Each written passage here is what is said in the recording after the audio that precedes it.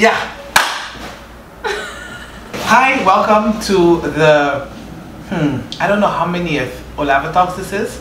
It's uh, the an Olave Talks with Amal Alhaag. Hi. Hello, hello. Thank Hi. you for inviting me. Well, wait, we'll get there. We'll wait. You don't know yet. You don't know what's gonna. Uh, Olave Talks. I always start off with explaining a little bit what Olave Talks is. Olave Talks is a is an idea that I had about half a year ago, around January, um, about uh, being basically the last three four years. I've been meeting a lot of amazing people, activists, thinkers, doers, makers of all kinds of uh, walks of life, orientated in different kinds of communities. And I have, it has been such an instrumental part of my learning curve in the last three, four years. And every time I would be leaving from like a demonstration or in an organizing space or at dinner with someone, and I would have these conversations that were like literally life changing. And I would go home and realize that I had no documentation of it mm. that I had no way to actually also show what it is that that happened, those moments. They became ephemeral and lost. So at some point, I thought, wouldn't it be cool to start documenting and archiving um, just the amazing work that people uh, that I'm meeting in this in this in this activism world, in this creative world, um, in institutional world, these amazing people that are, that are inspiring me and teaching me, finding ways to to uh, document that, archive that, but also to showcase to in general to the public how conversations are a very very powerful medium and mode of knowledge production and knowledge transfer, right? And so I thought of doing it this way through the Olave talks.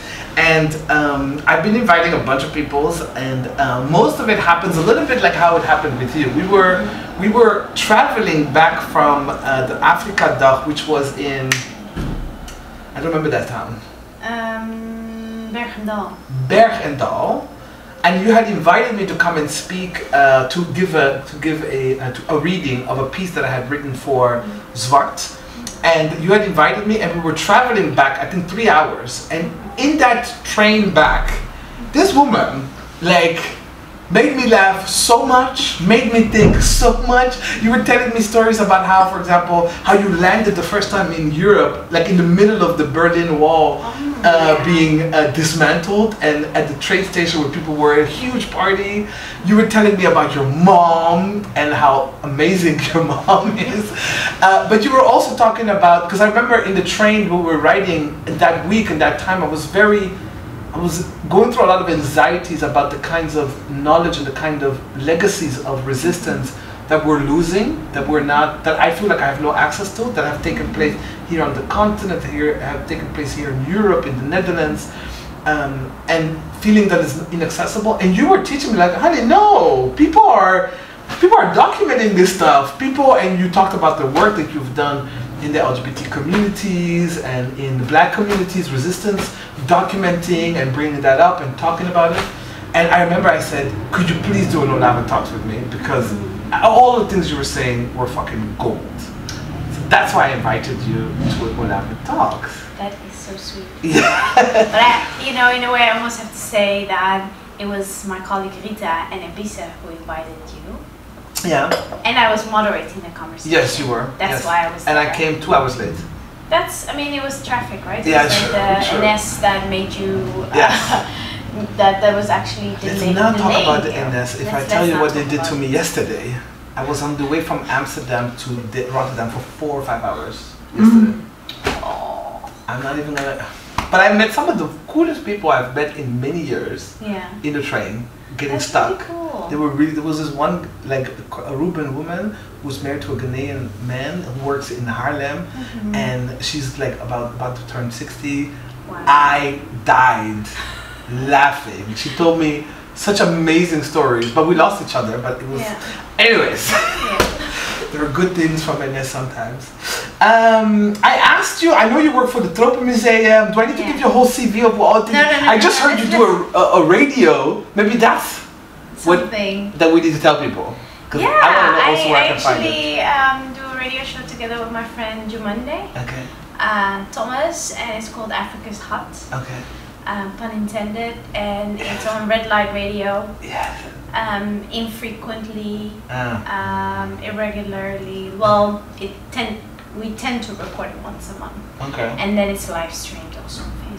I'm looking forward And you can check it out on redlightradio.net. redlightradio.net. .net, yeah. What's your thing with African music? Tell me about. Um, I well, I started out actually. Um, I used to be part of Together with Thomas and Senemi Abono, my friend, our friend actually, and Andrew Muckingham. Okay. Um, we used to be part of the AfricanHipHop.com collective, Okay. and that was like maybe early 2000s that we that we started out together. Thomas started it together with some South African friends, and um, it was more at that time. It was really not so cool to be into African music, especially not popular African music. And um, I guess it was also just not cool to be African by default. and That's been a while. um, yeah, I mean the come up is real. The come up is real. Um, I'm gonna ask whether that's because of Wakanda. No, I'm not. I already have the music in Wakanda is semi shit though. really? I have to say. Mm. Um, but um, so we used to actually throw um, these parties that were called "Doing It in the Park" ten years ago, Uh-huh. and then 800 people sometimes would show up. Wow. People, majority people of color, black people. Um, that was 10 years ago. Mhm. Uh, we started it, I think, in 2000. Yeah, like started organizing. Wait, were these live bands performances or? Sometimes, Well, yeah. We had Baloji, for example, from Uh-huh. Belgium. Um, Baloji is on We had a come whole. Oh yes, finally, he's been What around he's for doing so long. is amazing. It is amazing. Well, I okay, love fine. Baloji's work. Mhm. Um, and we even had ones like this wild secousse party. Okay. But it was it's called secousse, but it's like Coupe de Calais. Oh yeah. And yeah, yeah. just um, we organized it in the garden of the Tolhuistuin because that's where Selim and I used to work. Okay. And um, it was But what I don't understand about about Coupé-Décalé Secousse, is it is it like a French, like a Parisian um, musical form, or is it actually rooted in the I- continent? I, I mean, it is it is mostly from um, it is continental, but is, then okay. there is such a strong relationship with like the um, African communities, the diaspora communities in Paris, Mhm. Um, that it's like you know it's Abidjan, it's like all these cities. Yeah. I think it's more rooted in city culture, Okay. and that is connected then to Parisian diaspora communities. Okay. Um, and I, what I like about it is just the speed of the music and Mhm. the type of joy in the It's really music. fun. And the parties are fun. And don't go to a coupe deck.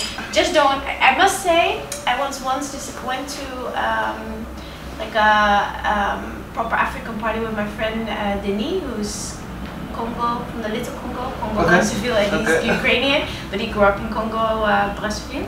And um, he took me to this party together with our other friend in Paris. That was 2004, Okay. and um, it was like I've never seen that many wealthy Africans. small That's when you go like, wait a minute, I'm, like- I'm poor. Wait a minute. Wait a minute. These people got Why am I money. not allowed to sit here? And then they were like, uh, uh, have to uh, get up for my chair. It cost uh, 5,000 euro. Ah, yeah. uh, VIP. and then I'm like, Yeah. too yeah. proud for this place. Yeah, I have. I'm, uh, I'm living on like uh, what, what we call in the Netherlands, like, you Yeah. know, little piece of bread and hagelslag. I have had those. When I was I lived in Rwanda in Kigali for like about a year, uh, in 2013, 2012, 13, and yes, there are some very wealthy Africans out there, yeah, and um, it's, on, yeah. it's a different reality. it's a different reality indeed. Yeah. But I think also. mostly people from Gabon. It was people like their some of their friends grew up in Mhm. Gabon, and I think in that sense Paris is quite an interesting place because there's this intersection of different classes of diaspora and African people. I Yeah. um, and at the same time, the wealth is present, Mm, and not only amongst white people but also very much amongst pe- people of color, Yeah. black people. And then coming from here, where just the display of wealth. I mean, not that I'm that int- I'm not necessarily interested. I think it's interesting when you actually see it in a society so present. Mm. And I, in, in that sense, Paris was just like a. Um, it has it has been very. Um, humbly. no, not necessarily humbling. It's it's a place where you can actually see where the friction is Mm. between different communities, but Yeah. also um, the energy is different. Yeah. I mean, the parties over there, they're very like intense. Mm. I have to say, everyone um, is dancing, and at the same time, um, I found it more joyful there because somehow um, African music was just kind of.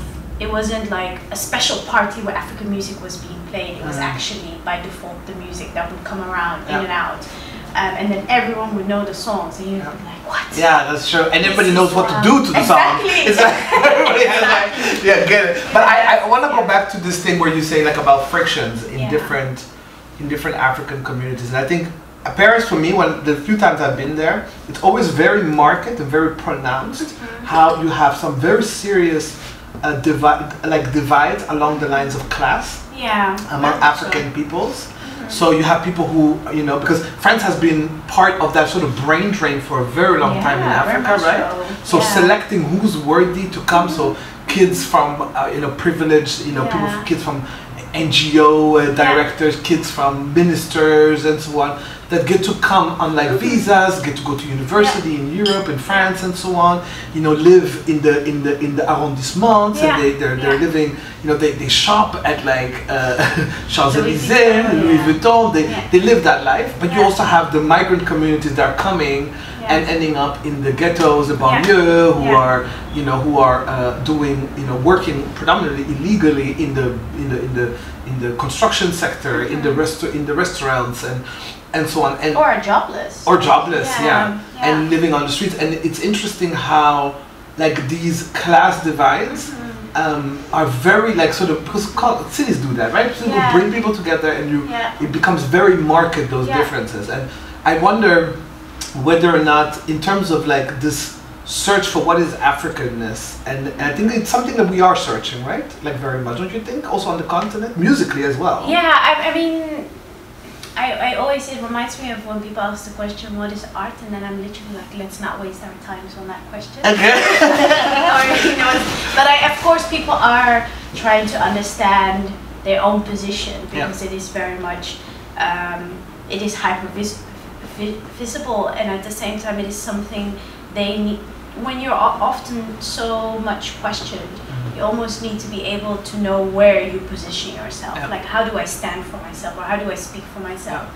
If I'm constantly dealing with the question marks. Yeah. Um, indirectly or directly people are i think in a way looking for it but um, indeed it is it is something people are dealing with dealing and, right? um, and i think in a way paris also um, there are those extremities and then there's a huge there are huge groups of people that are just in the mediocre every day Yeah. you know just having exactly like you said low paying jobs but then raising children Yeah. that might not be able to attend the right schools Mm. but are able to produce the new dances Yeah, or true. you know or, or find other means and ways of surviving if i look at some of my friends um, in paris there's a bit of everything the one the, the diplomat child with like three passports you Mhm. know and the people that literally have congolese parents um, that became musicians and Mhm. actually do relatively okay, Okay, okay. and are helping raise to Children. raise their, the, their their brothers and sisters and it's that type of but they move in different spaces so you Yeah. almost need to be a translator in order to um, translate also in class but also in like inventiveness so in, in it's it's yeah it's a complex thing i think I have to say that I guess maybe I am very much concerned and I think a lot about these questions about Africanness and its Mm. Extent, its reach, its depth, its flexibility. Mm-hmm. I think about it and I think I think I have to be honest that that comes also with a particular positionality, right? As a Mhm. queer trans person, yeah I think um, I've been told often that my identities and my behavior, because behavior isn't always identity, but anyways, yeah um, especially in a Burundian context, Yeah. but that, that I was that I was not African, yeah and I found myself being put outside Mhm. of this idea of what is African, but also Yeah. here of what is black, because you know um, I, I my gender identity doesn't fit into Mm-hmm. these predominantly Western binaries, but still. Um, and that has found me really thinking about like what is blackness, what is Africanness, and, yeah and and trying to yeah in find that context yeah and so I look at, for example, you know, also the discussions, I was telling you a little bit earlier about the discussions that I see happening in Burundi hmm about uh, ethnicities. and uh, and some people call them tribes or clans, but Yeah. but you have ethnicities and you have uh, clans in Burundi, and um, and some of these ideas about what is African, about what is black, have infiltrated our sort of have been absorbed and internalized by our very ideas about who's worthy, right, and who's closer, who's more proximate to say white uh, uh, uh, white descendancy or something, right? So you Or have power. these- or power, Yeah. and you have these theories about, for example, Tutsis being people who I think I've heard like that they're Jewish, sort of original Jewish people who became black and by moving down south, you know, so sort of yeah, and then that's sort of and they, they, they trace it from Ethiopia, Somalia, uh, Maasai's to the and and that, that sort of and the pearls, you know, that there's this idea of if it's not Jewish, I've heard that we might be Egyptians, you know, who have and that the, the Yeah. local the Hutus were more like uh, local communities, uh, more related to the pygmies of, of, of Congo, Congolese, uh, the Congo uh, forests and so on, jungles. I mean, these these theories, and the thing is, I'm not sure whether they're our theories, Yeah. whether they're uh, ethnographic and anthropological, the white gaze, and um, and I feel I don't know, maybe I'm missing it, but I feel like a lot of people are trying to figure out what is Africanness, how do Yeah. we deal with you know our our what what you know white people have told us about what African is. Uh, and what people have, you know, because in these churches, for example, I one more thing. In these churches right now in Africa, in Burundi, that are paid for by Western churches, Mm-hmm. where they're talking about whether or not being gay, whether being trans is mm-hmm. is is is African or not, Burundian or not, mm-hmm. they're all funded by Western churches. That's a bit of the The. Catholic Church Yeah. brought this up as well, right? Has brought this infiltrated this idea of who's a man, who's a woman, what is sexual behavior, what is not, what is proper sexual behavior, and it's really strange that it's morphed into being Burundian saying, yeah, but you're not Burundian because you, Yeah. you know, It's I, I find it very, very interesting because in a way, I mean, I completely like this these mythical stories. Um, um, you have them in Somali in the Somali community. Um, you have them in, in all over Africa, and specifically speaking as East Africans. In a way, you have it. It's very pre- pre- it's present across East Africa. And I've been really, I mean, I've been thinking a lot about it because you are not only questioned um, by other Africans, but you're also questioned by white people. Um, and at the same time, what we maybe need to dismantle is also the colonial administrations, the structures that were put in place in order to create racial categories. And I think, um, and how that is um, very much, I think people, I think we really need to think about the afterlives of colonialism, Mhm. that we're living in the afterlives of colonialism and it's not necessarily over, it's still here Yeah. because you have these type of situations where um, churches on the continent, whether it is in Congo or in Burundi or in Ghana, are funded, or Uganda, Mm, are funded by white wing, Yeah, uh, anti-black, yeah, um, super white supremacist churches. Yeah. Um, and the missionary work, I think we should not forget what type of damage the missionary work has done. Yeah. But also, I think it's also time for Africans across the Mhm. continent that we must take responsibility okay. for also allowing, for you know, being sometimes I- it's it's a complex situation in the sense that I think there is a responsibility for us to also engage to resist or to refuse. Mm, And those of us who feel that it's time to refuse to resist yeah, should like practice that Yeah. a form of resistance because um, and and at the same time re- remember that we are the diaspora people so we should not reproduce the missionary work yeah. you know that is already there for 100 plus years Yeah. uh, years and um, yeah I've been I've been really it's it's such a um, dire thing Mm, because in a way it is the on one hand people are desiring the authentic african Yeah. performing that if i look at afropunk I, I can see the power of afropunk in paris specifically Mm. of it being a meeting point where all types of people from the diaspora meet each other Yeah. people that are deprived of seeing other black people that have african um, that are of african descent for Yeah. example and the joys in that and at the same time if i look at the way people are dressed, the way they're fashioning their Africanness, and what that what that reproduces. It's not far away from like The you know, Wakandan methodology. the, yeah, I mean, it's not far away from how the ethnographic museum has Okay. constructed the African. yeah. Um, if you look at, for example, sometimes you see artists with their painted faces, Mm. like you know the stripes, and I'm always thinking, when, where is that rooted in? Yeah. Like what particular African Yeah. Um, culture Yeah. has the painted faces? Yeah. And usually, if there are, there are not that many painted faces, to my understanding of what I know, Mm. but um, often it's part of a ceremony Mm. or ritual. It's it's not it's never out of context. Mm. You don't have like people walking in the streets or going to the market with painted faces. No, no. Yes, It's I'm about to buy religious my tomatoes. example, or, My or palm yeah. wine, and then going around with your painted faces. And I, I, I think sometimes we also need to dismantle that, you know, Yeah. because by Do you dismantling think that that is also? Do you think that that is also a bit of cultural appropriation? I've heard. Um, I, I wonder if it is cultural appropriation. I, I think it's much more of a desire of to be in close proximity to one's African self. And it's not necessarily one's Somali self. And I mean, I'm speaking about ethnicity or cultural formation because I'm not Mm. necessarily interested in the nationhood Okay. because I think nations on the continent are problems. Yeah. Oh, thank Um, you. I was gonna they're ask you about they're that. real problems. and and we have border beefs all Yeah, across. all the time, yeah. As a Somali, I'm always like, "Hey Ethiopia, Yeah. hey Kenya, how you doing?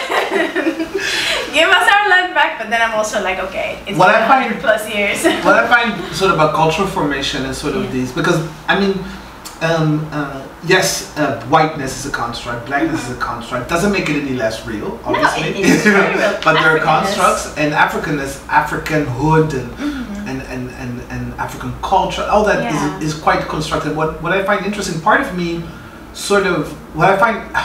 Because so much of the world is invested, has been mm-hmm. invested in sort of creating and constructing what Africanhood mm-hmm. and what Africanness has, and a lot of it has involved silencing mm-hmm. actual African people in that Yeah, process, very much so. and saying like what y'all have to say is not really relevant because you're I don't know you're too stupid or too base to understand yourself. So Yeah. we're gonna sort of Tell you what tell you what you are and how it works and so on. I think NGOs and the you know the post-colonial uh, apparatus has been also very much about like this is what you need, this Yeah. is what you are, and so on. The nation, the Yeah. nation state project in, that you're seeing in Africa that causes so much havoc Mm-hmm. has been about uh, very much been sort of creating a particular kind of Africanhood and African Mm-hmm. sort of uh, economy as well. Eh? Like we're seeing a particular pattern of like sort of eh, economy goes to government, government becomes sort of a Yeah. business, you know, Yeah. a mafia business. But anyways, and I sometimes part of me says like um, because we see in the queer community like reclaiming things like faggot and queer and trans and transvestite Yeah. and reclaiming them being self-defining Yeah. has been I feel like can be very interesting and I wonder whether or not as active participants uh, because Afropunk for example has a particular kind of con- they're constructing a particular kind of blackness and Mm-hmm. Africanness that is rooted in in in, in anti-oppression right so Yeah. they have like you know this is Afropunk on no transphobia no Yeah. racism no whatever But And no, ca- there's no capitalism. That's the one that kills me. I'm Yeah. like, really? yeah Really? Like I see the whole list and I'm like, where's the no capitalism in this? If you're trying to get rich, I have to still pay 100 euros when I'm going to Afropunk What? in Joburg. Yes. oh and, really And, and I mean, in this sense, I think sometimes you also have to allow yourself to be a hypocrite. In that, I am very much like because I believe often in dualities. Things can be unhealthy for you, or unproductive, or oppressive, and at the same time, something within that Can- yeah. you know be like a a seeding place or a place that Yeah. sources your joy or a way to like revitalize or recharge yourself yeah. and um, and in that I mean Afropunk might be a, a like I see the power of it Yeah. but I also see what it does to there is there is a difference between reclaiming Mm. what it does for I think for queer communities Yeah. and um, I'm still questioning like what it does for blackness or black like claiming I'm very much I think in a way Pan Africanism has been useful very Yeah. much so but we shouldn't think of it as something static. It should be something that should evolve and fit where we are in time and place. Okay. And um,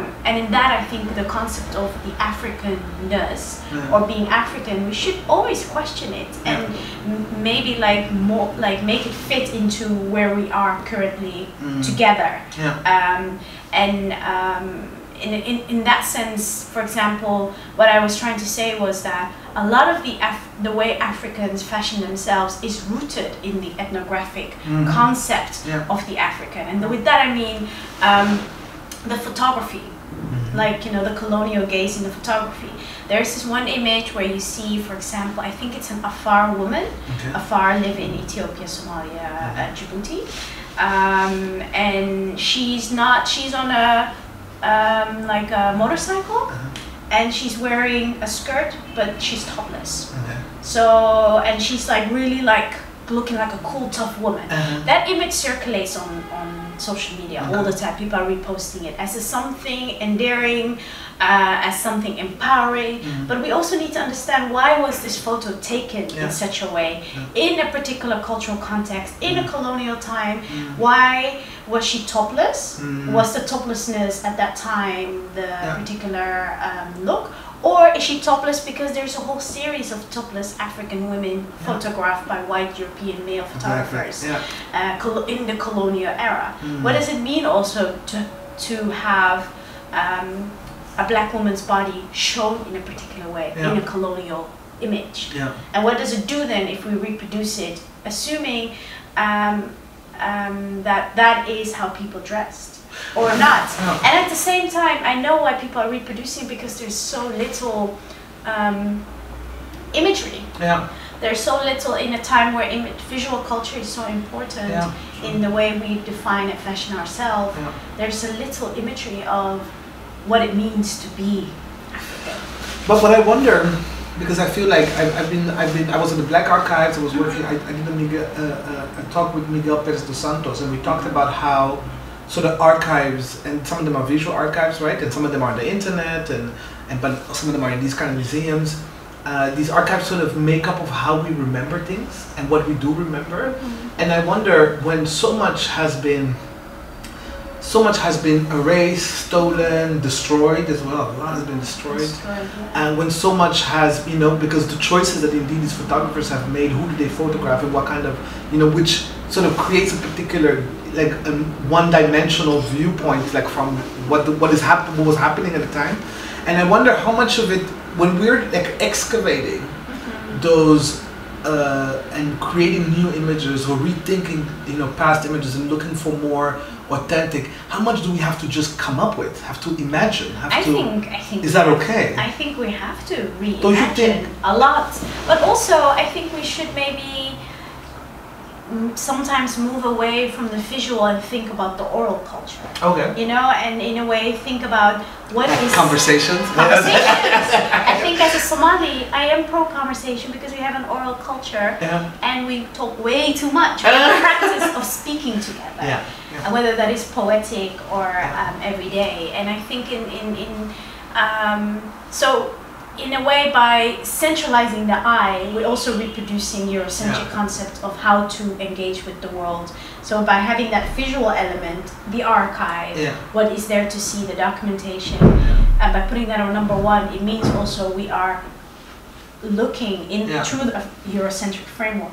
What if you move away from that and think about oral culture? What do you think? What about if you learn actually, or you look at what are the stories that are there? Yeah. What can I? And in a way, I mean, histories have been constructions, partly illusionary. They leave out more than they actually. True. include. So it's not a place of inclusion, Yeah. the, the way histories have been making. Perhaps this might be the era where inclusionary form of histories are perhaps a possibility mm-hmm. because way more people can go online and Yeah. Write their own shit. Yeah. yeah. um, but I also and sing it or tell it, it. like or have you yeah, know Snapchat it, do Yeah. whatever they want Yeah. with it. And I think in a way, um, um, as someone who also works a lot with archives, and, and I work here at, at the Research Center for Material Culture part time, and I think a lot about like what does it um, what does it mean also here in the museum to not, for example, make exhibitions podcasts? I use the radio as a format, not necessarily only in the museum, but more outside of the museum. Yeah. Um, and I think um, um, that to me stays al- also particularly close to my own heritage Yeah. but it also to me could be potentially a way of documenting um, different forms of Africanness because in various African culture there is oral literature. True. And I have to say that was one thing I learned when I studied African studies, African cultural and, and, and languages, African cultures and languages at the University of Leiden. Uh-huh. That Oh, you studied Leiden as well? yeah, I studied there. Yeah, I did not survive. I died. I used to say "Ah." I died.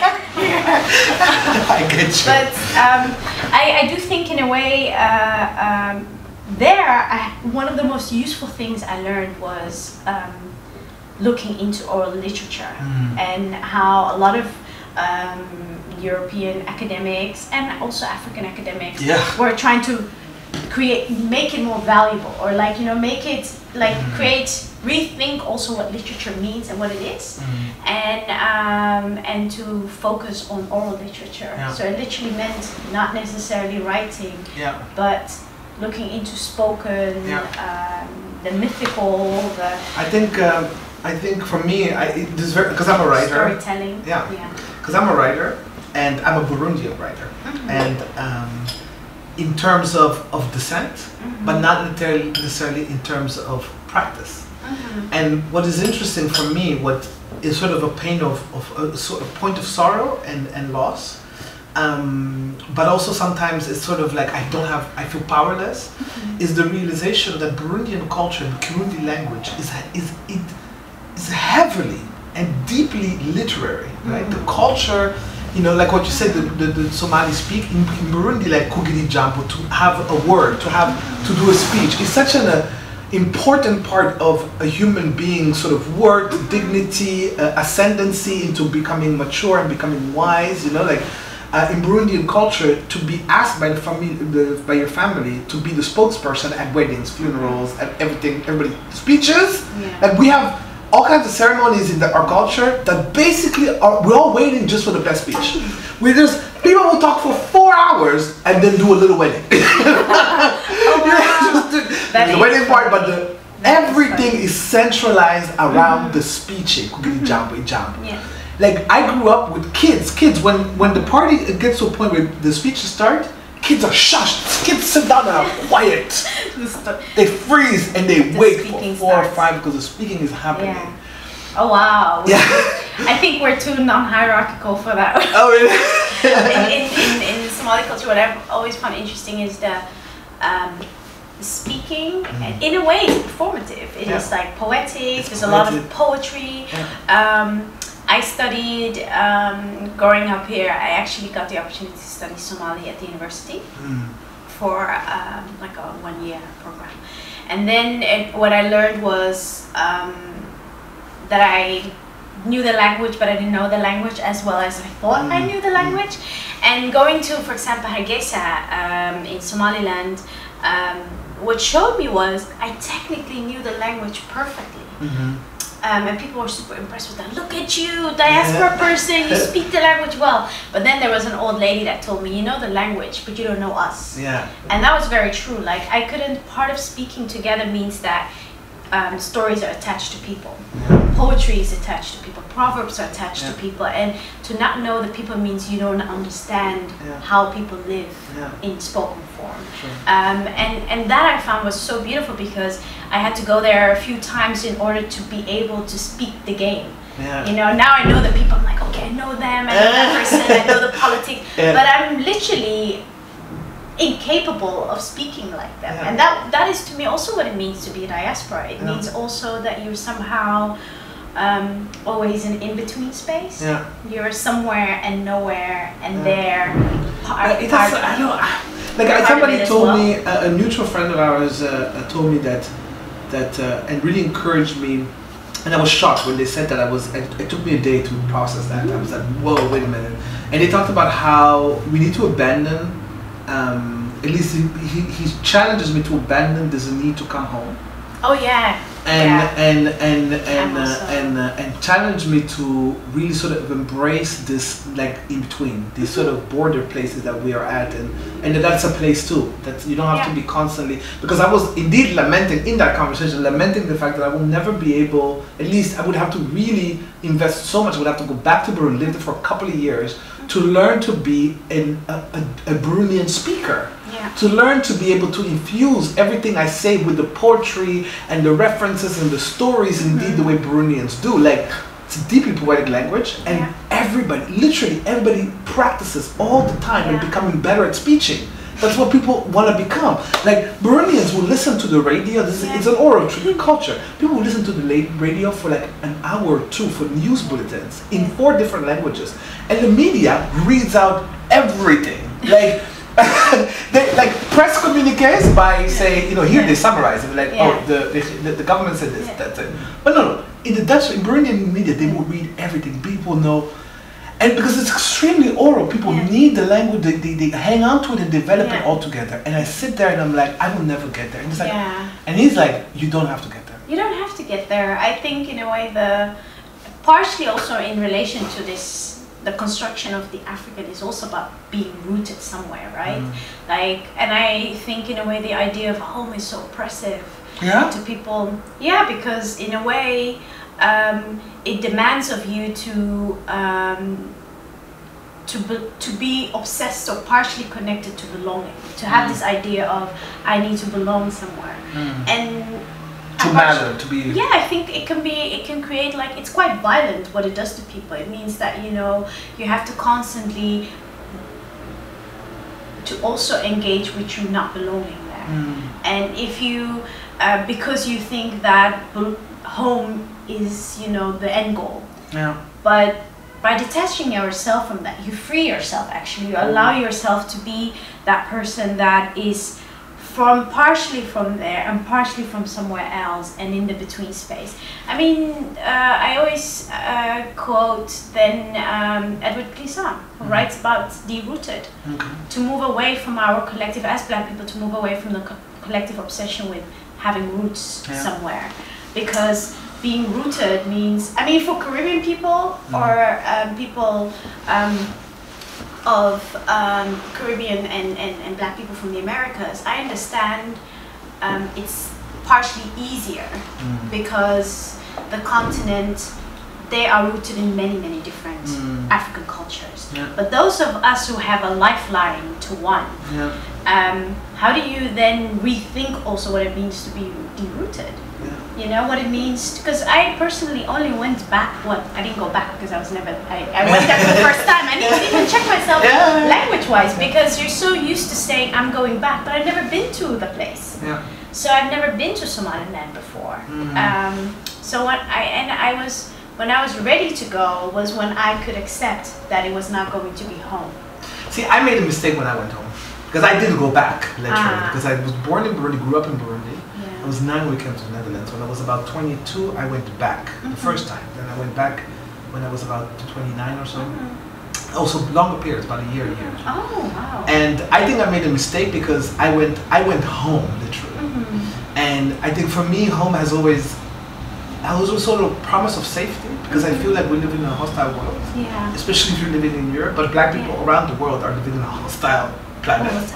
I think it, I read about a book that I heard about a book that they're writing about how black people move to another planet. I'm like, see, Sci-fi. but anyways, but sci-fi is. Uh, Sci-fi. um, but home has kind of a promise of, of finding safety. I think that that's Mhm. literally what, especially people in diaspora communities, like, like keep thinking that we if we get home, and I think I did that. But what I didn't really But what did you find there then? What I found there, um, I don't know. I think that I went home and I changed home.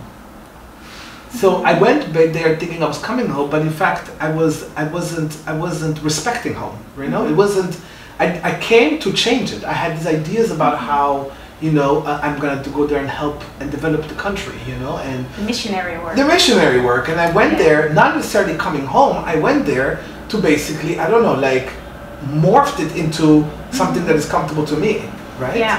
And i found there like layers and layers of complexities and intricacies and relationships that I literally had no, one, no understanding of, and very little place in, very little positionality in. Yeah.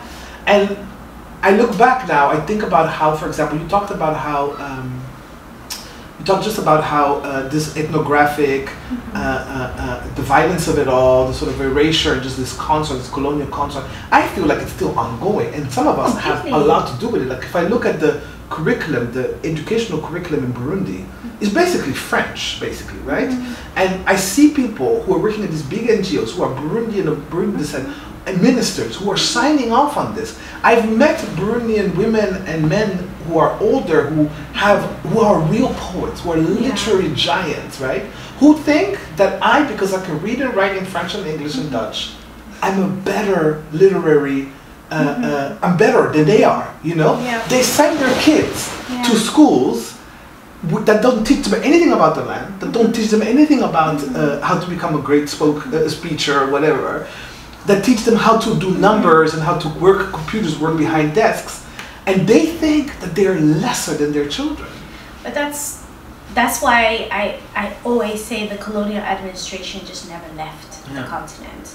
And whether that is in Burundi or Somalia or wherever, you know, Mm. and I, I think it's there's so much decolonial work that needs to be done. Yeah. If I think about Back um, home as well. yeah, like I, if I, um, there's a thin line. Like when I go to Somaliland, for example, I really have to almost contain myself and to, in order to respect Yeah. how people think, how they, um, that I can also see the empowering um, and the agency to give that the space. Because when you're a diaspora person, you're also mentally trained to be a missionary worker. There's so many Somalis that are there working for the UN Mm. just to keep us refugees. Yeah. And um, most, I think my parents, well, my, my father didn't have a problem with whatever that I was doing. my mother was so much like, you know, um, sometimes um, um, pushed by her friends Mm. to almost then um, um, um, for her to tell to ask me maybe you need to reconsider maybe you need to work Yeah. at and she didn't even believe in the UN mm. and and maybe to work at the UN because that meant that one is has a position that you arrived as a Yeah. diaspora person you know and and I, I I think about like what it means for so many of us as diaspora people to go back and set up businesses Yeah. like in, Doesn't in it? Somaliland what I part one of my largest irritate one of my biggest irritations there was to see so many diaspora peace, people literally being the new colonizers Yeah. you know um, setting up new factories setting up this but really Setting up coffee is- shops. what is it going to do for um, rebuilding the country in a sustainable way in conversation with the local people Mm. that part of the conversation is not there. It's literally like, oh yeah, I'm trained at the university of whatever, whatever. Yeah. I'm going to bring you knowledge. Mm. What about local knowledge? How Yeah. can you actually exchange? And and that to me is is I, I feel in this hyper neoliberal capitalist societies and the ways where are conditioned within these societies, it literally means that that moves. Yeah. That conditioning um, is combined with then the colonial conditioning of the local people who have some sort of, um, um, let's say, low self-esteem. Yeah. Like I would almost say colonial low self-esteem. Yeah. Um, by assuming because someone speaks with a British accent and Yeah, they have literally exactly, no degree or anything, they have no knowledge, they show up with their British or American accents, that by default they deserve better than someone who's locally Precisely. educated, who speaks with a thick, heavy Somali accent, Yeah. but who writes perfectly. And and these type of to me that is the everyday colonialism. But my question is that because I notice this, like, okay, so I feel what you're saying stands in sharp contrast to the fact that I hear so many uh, uh, continental Africans or Africans who are living here now, but first generation who have actually lived in Burundi or something, Yeah. and, and they keep talking about how in, in back home there is no blackness. Back home, I am uh, we're this and this and that. Yeah. But but what you're describing is the condition of blackness around the world. Yeah, I mean, I think, I think, I mean, it's definitely the condition of it, but to a degree, I'm, I'm more of that, and at the same time acknowledging that um, in particular countries where everyone is black, um, we always have to remember what is the construction of blackness as well. I think But in the colonial in the colonial dynamics. I mean, in the colonial dynamics, now we are the foot soldiers of colonialism. Mhm. Like I sometimes say, you know, women are the foot soldiers of patriarchy, Mhm. um, and queer and trans Yeah. women, I I include them too. Mhm. But I think in, in, in, in, in specifically speak about Somali or other partic- other African societies, um, if I look at it, like we are definitely Yeah. like the foot soldiers of colonial. Like we don't there, there's no white officers that is around No. to keep these school educational systems the same. Yeah. And if I look at across the Well, there, there is the white World Bank and UN yeah, of course. uh, and they've been around for a long time, yeah, yeah. And, and they benefit. They Yeah. best, they live their best lives, Yeah. I think, on the continent, Yeah. across the continent. But specifically, you know, what does it also mean for the sustainable sustainability of lives and resources, but also of nature, environment, Mhm. um, in particular countries like um, Somalia um, or and Somaliland, I should say, where people are living also in an ecological time bomb, Yeah. you know, Sure. and um, and for me to then walk around and to see all these things at the same time, I find that sometimes I can only handle to go there for two weeks Okay. and intense. I'm working with people. Like I'm, um, I'm interviewing people, having conversations, but it's so intense that I can only do it for a particular amount of time, and then I need to move into my own self again. Yeah. Um, but it also means that some conversations I can't have yet. Yeah. Like uh, we almost have to. Um, um, I have to find local people that think similar Mm. in order to have those conversations because I also feel it's not my place Mm. um, to then do the missionary work. Yeah. I'm not there to. I'm, I'm there to be in dialogue all the time, Yeah. but I'm not there to come there and go like, you know what, y'all need bell hooks in your life or whoever. Exactly. you know, you Like, need. have you you not read to read Frantz Gloria Fanon? What? What do You you know, even someone know? needs to translate Gloria Becker into Somali right now. it's it's not. But then, but then I wonder because I think I'm just just Yeah, thinking yeah, out loud right now. I'm thinking, I'm hearing you talk, and then I'm like, okay.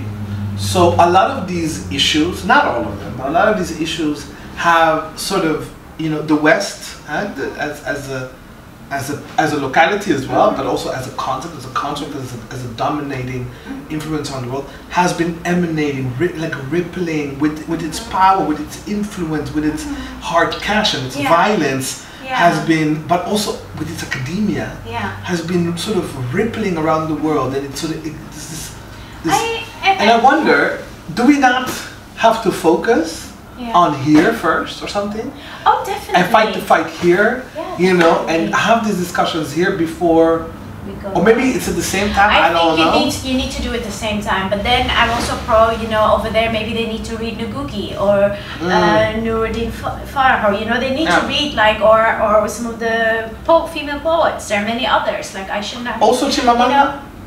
you know. mm. I Sorry, I love, to throw that I. I love I love her literature. I have to say. Did I- you not think that Americanah was particularly anti-black? No, I thought Americanah was a, a upper class Nigerian woman. Um, Yeah.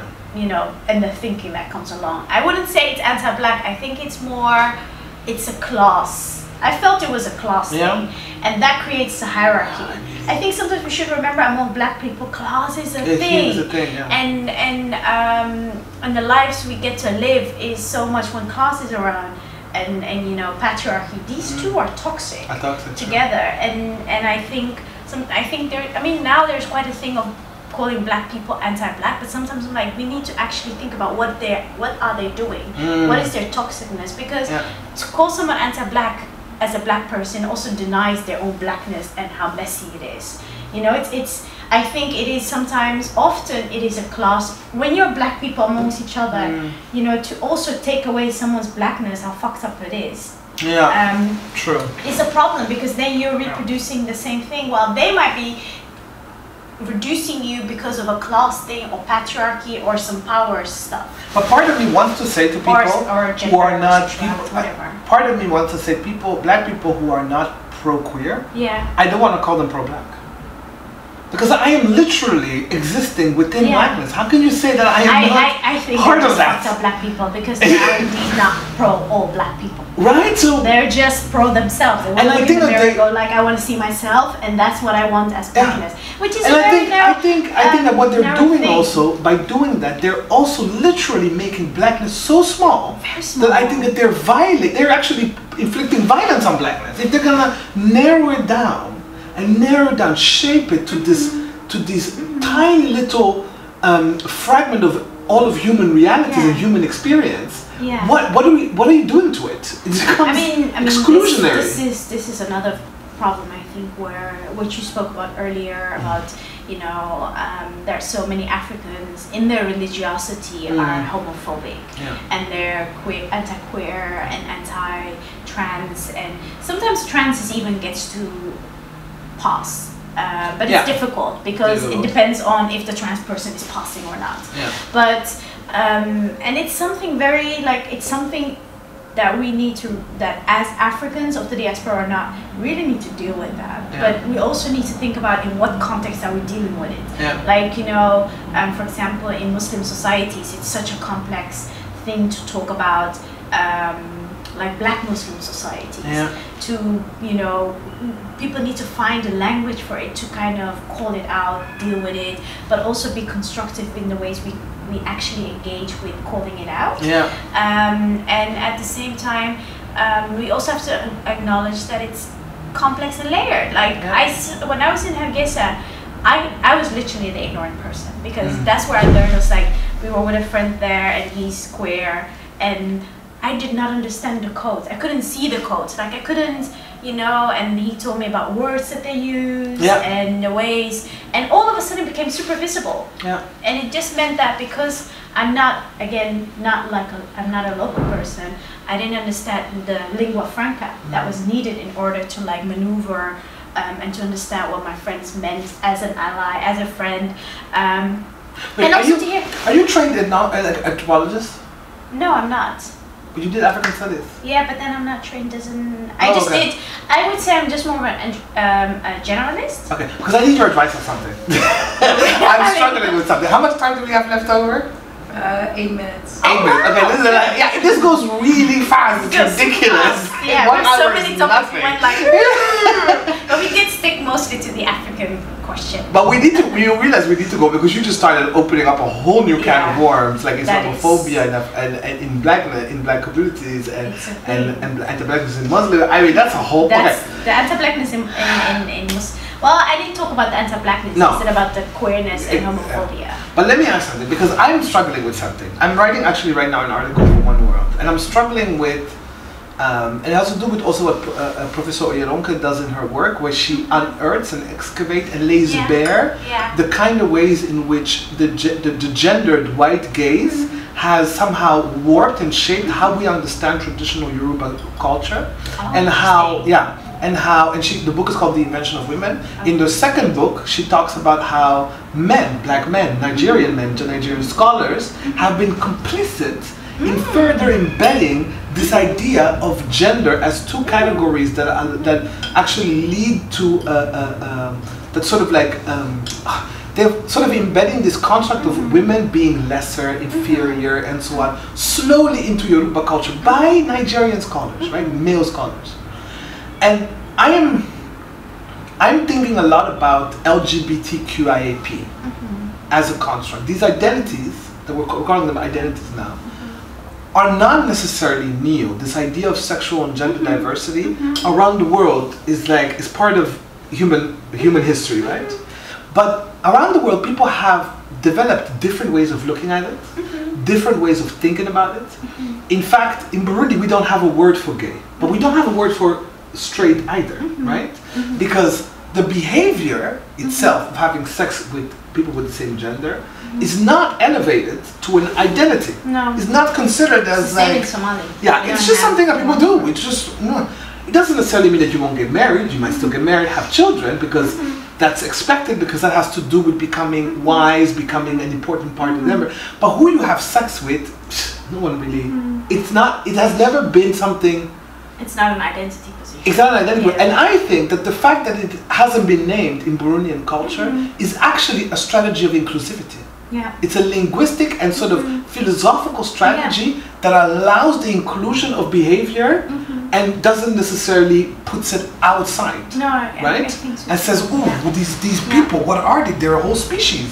We're gonna call them gays. We're gonna call them whatever. They're just these people that do things, right?"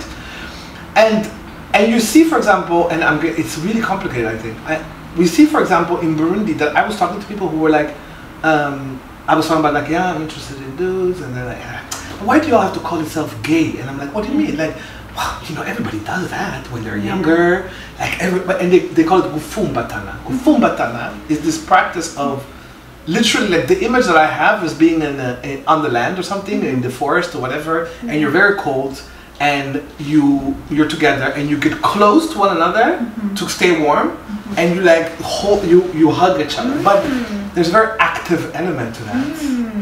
To there's a doing of things. Oh, things that must not be disclosed. That must not be disclosed. I mean, because everybody does it. Like, and people make jokes about that. Yeah. Hmm, you people must have been uh, Gufumbatana like uh, last week, weren't you? Like when you're all up. You know, the sort of. But no one, until now, there's this whole wave of ideological and political progress coming where these organizations, where Yeah. queer people from this diaspora Yeah. are coming and saying, these are gay people, these are trans Yeah. people, these are this Yeah. and communities uh, are being exposed. Yeah. People, individuals are being exposed, themselves. and they have to position themselves. Like a few years ago, I was in Burundi. I met trans people. I call them trans, but I don't know if I should call them trans people because they were living lives as uh, ident- representing in the way that they want, very feminine. When they weren't calling themselves trans women. They weren't calling themselves trans femme. But they were like having their hair did, makeup, going out, and you know, like nails, like where you're like, whoa, right? And quite known. One of them is a young girl that I, trans girl that I know is 16, 17 when I met her. I mean, she was known in Bujumbura as being the funnest. If you start a club, if you start a party, and she wasn't there, your party's shit. No one will come. So Yeah. people would like companies and bars would pay her to come to Oh, the party because you know what I mean, She's like because she's the fun. Now, though, in five years' time, in just five years' time, Wow. she's become the target of political persecution and aggression. Wow. And in five years' time, when I met her five years ago, she was like, "Why would I? Why would I cut this? Why would I change that? Why would I? No, no, no. I'm, I'm going. good. I'm not a man. I'm not a woman." She really is like, ah, Yeah. "You need about Zungu. That's for white people. Yeah. The whole man-women shit is for white people, right?" So even gender binaries for herself was something completely. And now she's talking about getting hormones. Now she's talking in five years' time. Wow. She sees herself. She has redefined herself as a trans woman. Mm-hmm. And I don't know mm-hmm. whether we're not keep on sort of with this language of LGBT, which is quite mm-hmm. westernized, mm-hmm. whether we're not somehow culturally like cultural imperialism, whether we're not perpetuating that again. I think in all things we are perpetuating that. Don't mm. you think that? I mean, um, That was a long intro to a question. wasn't it? just I, I mean it's an interesting intro as well because what it allow what it makes me think about is also the um, been doing this project here in the museum about it's called un, unengendering the collection Mm. and it's looking into the collection to see what types of how gender classifications are made by um, um, literally constructed by the institution Mm. um, and classified. So, for example, people would write the classification um, text and Mm. say this is a man or woman. Exactly. You know that is a Eurocent. It was a Eurocentric concept, and it still is a Eurocentric concept. And often throughout maybe hundred years, it was never changed or questioned.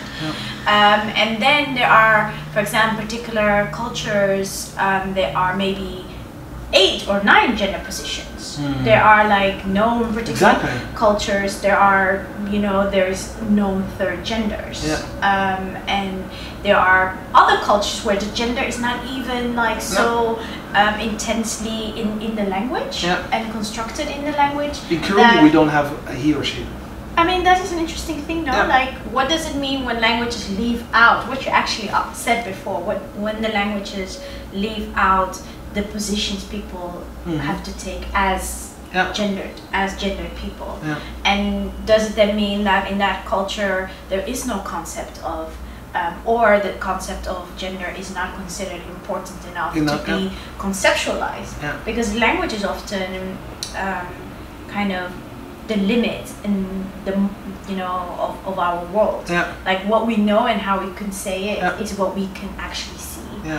um, and and that I, I yeah it's, it's a complex thing because in the Western con- context I understand why there are all these gender positions because gender is such a clear and historically constructed, Mm. um, socially constructed concept. um, But not universally so. not, universally. Yeah. Not, of the world has been has gone through colonialism, Mhm. colonization, and lives in the afterlives of that and slavery, Yeah. which means that you know, and the renewed kind of work that let's say particular Arab imperialism, the Christian imperialism that is happening, and Yeah. what what does that do to like particular concepts of gender? Yeah. And that's to me doesn't surprise me. Like all of a sudden, um, what changed in those five years? What Did- Did the funding change of the missionaries? could be, yes. Did you know? Um, Did the Caitlyn Jenners change? or we live also in a global world where um, violence, you know, moves around. yeah. True. When people are violated, in particular, like everyone has internet now. Everyone. I think it has. I um, think social media. That's why I'm trying to be very careful what I because I have a lot of Yeah. people from Africa who follow me, like who, Yeah. who are like gender non-conforming, queer, queer Yeah. like whatever, and I get scared because I think Facebook has had a particularly strong Mm. impact on how we're thinking about queer identities and gender Mm. identities as well. Facebook is is able to take things that are coming from the West Mm-hmm. and massively sending it out in the world, and there's no going back. There's no Mm-hmm. you know and, and and because you know just the algorithms and the, the sheer uh, output who has the ability production capabilities of keep on making little videos about this is what lgbt means. Who gets to do that? Who has the time and the money and the reach? It's not the africans you know? They don't have the they receive they just keep receiving and being told this is what and i think anyways um, This is how you position yourself. This is what you need to call yourself.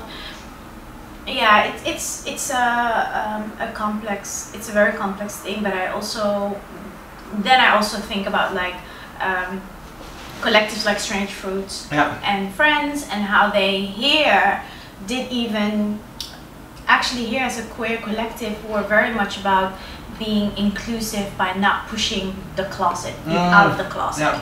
People did not have to be out of the closet. They can be just whatever. yeah They can walk in as a drag or as a trans Yeah. or as a um, queer man or whatever, and walk out as someone else someone else, back into society. And I think those type of spaces um, allow all types of different forms, or these type of you know Mm. platforms allow different forms to be, especially in a in a, in a place like here where. Um, the, the out of the closet politics is real, like it's, really- oppressive. yeah, it's very oppressive. If I think about some people, it's complex. I, Um, wait, we have We four have- minutes. we We have have four four minutes. minutes. we What? No, you've been like. Oh, we're over four minutes. Over like Oh, five, oh. six minutes. Okay, then we maybe. Listen, no, I just realized I forgot something. Normally, Yeah. I always have some text Yeah. to like, I will ask the people that I'm asking to speak Mhm. to either read the text to me at the end or I would read the text to them. Last time I did it before because it was so poignant. But I forgot to ask you. Hmm. So I think we don't we don't really have a wrap up. We don't really have a good wrap wrapping up Mm. except for ta-da. That sounds, sounds good. I'm gonna thank you for this amazing conversation. It's Oh, been thank you so much. It's been It's like really, a really fun. It's just the beginning. We have It's a so many beginning. comments. so interesting. Uh, I hope. I don't know whether did you had did you did you did you enjoy it? Was it okay? Yeah. Okay. good. no, it was really nice. I know we can Also see your work. It, it reminded me to to really think a bit more about think more and maybe start writing about some of the things I've been thinking about for a long time. Mm -hmm. Um, and Or you know, speak it out in or, podcast. sp- or speaking out. Yeah. yeah, but then I don't like talking by myself. It's Ah. more enjoyable in conversation. Yeah. Yeah. I'm not so interested in, you know, the the single authorship. Yeah. Yeah. Cool. Thank, you, Thank you. so much. I'm gonna give you a hug and they're gonna the shut everything sweats out. off. Yes. Thank you so much. Love je sexy outfit.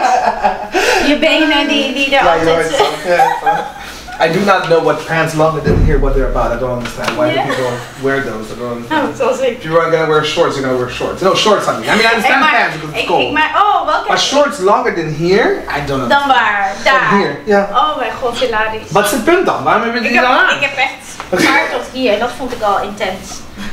Ik zeg al, maar ik had een grapje, is eh, hashtag haram life. Ah.